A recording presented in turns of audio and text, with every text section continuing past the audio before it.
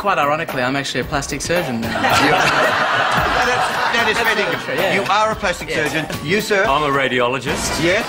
Urologist. Yes. Oh! Anaesthetist. Yes.